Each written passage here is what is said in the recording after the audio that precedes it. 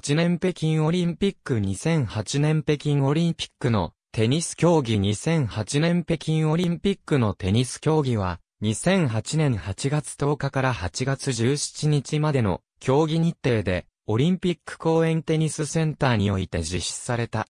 オリンピック公園テニスセンターロジャー・フェデラー・ラファエル、ナダル・ノバク・ジョコビッチ・ニコライ・ダビデンコ、ダビド・フェレール・アンディ・マレー・ダビド・ナルバンディアン・ジェームズ、ブレイクスタニスラス・ワウリンカ・ジル・シモン・ニコラス・アルマグロ、フェルナンド・ゴンサレス・ミハイル・ユージニー・イボ、カルロビッチ・ニコラス・キーファー、ラデク・ステパネク・トマーシュ・ベルディハ、第14シードカルロビッチの棄権により、繰り上げ、アナ・イバノビッチ。